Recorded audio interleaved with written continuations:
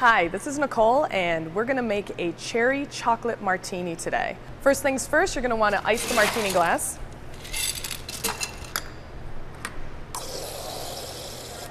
And set that off to the side while we build the drink. You're gonna wanna start off with a good cherry vodka. Um, I like Effen Black Cherry. There's many other different kinds of cherry vodkas on the market. So generally you wanna start off two parts. I'm using jiggers. You don't necessarily have to. If you can use a measuring cup.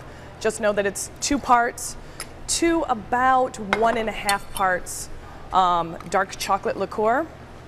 Uh, you can also use Godiva for this.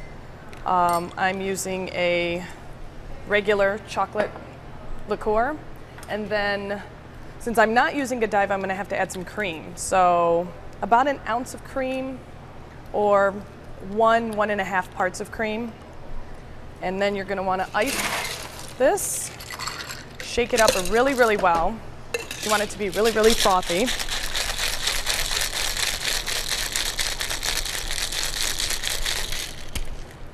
All that shaking is what gives it sort of the thickness and the texture that you want. Empty out your glass. And that is a cherry chocolate martini.